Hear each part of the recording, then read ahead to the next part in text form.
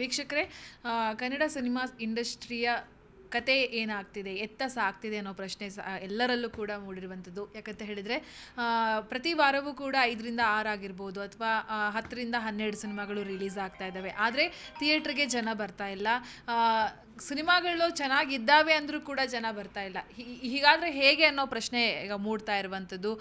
ಗೊತ್ತಿದೆ ನಿಮಗೆ ಥಿಯೇಟ್ರ್ಗಳು ಕೂಡ ದಿನದಿಂದ ದಿನಕ್ಕೆ ಕಡಿಮೆ ಆಗ್ತಾ ಇದ್ದಾವೆ ಸೊ, ಈ ಬೆಂಗಳೂರು ಅಂತ ಬಂದಾಗಲೇ ಅದೆಷ್ಟೋ ಥಿಯೇಟ್ರ್ಗಳು ಕೂಡ ಇದ್ವು. ಇವತ್ತು ಬರೀ ಅದು ನೆನಪಿಗಷ್ಟೇ ಇರುವಂಥದ್ದು. ಇಲ್ಲಿ ಈ- ಜಾಗದಲ್ಲಿ ಥಿಯೇಟ್ರ್ ಇತ್ತು, ಈ ಜಾಗದಲ್ಲಿ ಥಿಯೇಟ್ರ್ ಇತ್ತು ಅಂತ ಹೇಳೋದಕ್ಕಷ್ಟೇ ಆ ಜಾಗ ಇದೆ ಬಿಟ್ಟರೆ ಅಲ್ಲಿಗೆ ದೊಡ್ಡ ದೊಡ್ಡ ಕಾಂಪ್ಲೆಕ್ಸ್ಗಳಾಗಿದ್ದಾವೆ, ಮಾಲ್ಗಳಾಗಿದ್ದಾವೆ. ಹಾಗಾದರೆ ಮುಂದೆ ಹೆಂಗೆ ಅನ್ನೋ ಪರಿಸ್ಥಿತಿ ನಿರ್ಮಾಣ ಆಗಿರುವಂಥದ್ದು. ನನ್ನ ಜೊತೆ ಇದೀಗ ಫಿಲಮ್ ಚೇಂಬರ್ನ ಅಧ್ಯಕ್ಷರಾದಂತಹ ಸುರೇಶ್ ಸರ್ ಇದ್ದಾರೆ, ಅವ್ರನ್ನ ಮಾತನಾಡಿಸ್ತಾ ಹೋಗ್ತೀನಿ. ಸರ್, ಏನಾಗ್ತಿದೆ ಎತ್ತ?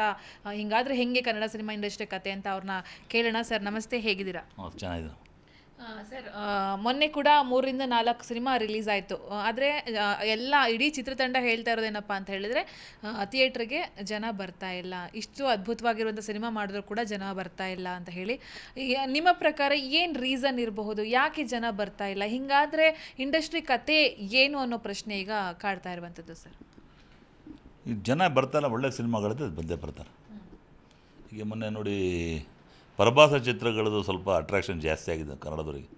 ಕನ್ನಡದಲ್ಲಿ ಕನ್ನಡ ಸಿನಿಮಾಗಳನ್ನು ನೋಡುವಂಥ ಕೆಲಸ ನಮಗೆ ಭಾಷೆ ಮೇಲೆ ಪ್ರೀತಿ ನೀರು ನೋಡಿ, ನಿನ್ನೆ ರಿಲೀಸ್ ಮಾಡುವಂಥ ಒಂದು ಹೆಜ್ಜಾರು ಸಿನಿಮಾ ಆಗಲಿ, ವಿದ್ಯಾರ್ಥಿ ವಿದ್ಯಾರ್ಥಿನೇ ಆಗಲಿ, ಎರಡು ಸಿನಿಮಾಗಳು ಎಕ್ಸ್ಟ್ರಾ ಆಡಿದೆ ಸಿನಿಮಾ.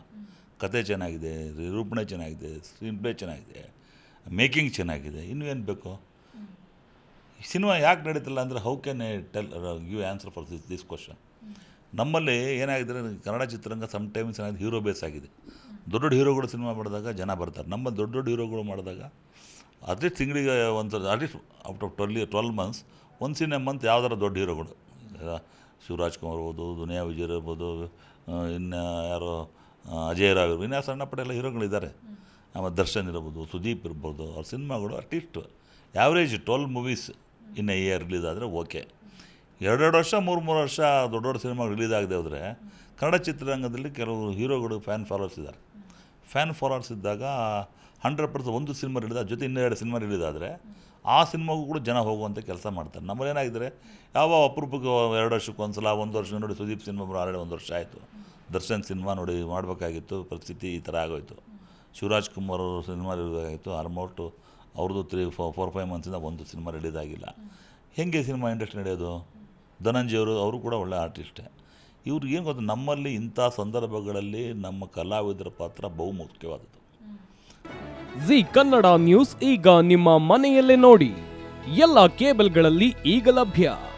ಸನ್ ಡೈರೆಕ್ಟ್ ಇನ್ನೂರ ತೊಂಬತ್ತೆರಡು, ಜಿಯೋ ಟಿವಿ ಸಾವಿರದ ಮುನ್ನೂರ ಮೂವತ್ನಾಲ್ಕು, ಯು ಡಿಜಿಟಲ್ ನೂರ ಅರವತ್ತೆರಡು, ಸಿಟಿ ಕೇಬಲ್ ಐವತ್ತೊಂದು, ಜಿ ಟಿ ಪಿ ಎಲ್ ಹದಿನೇಳು, ಅಭಿಷೇಕ್ ಕೇಬಲ್ಸ್ ಎಂಟುನೂರ ಇಪ್ಪತ್ತೊಂದು.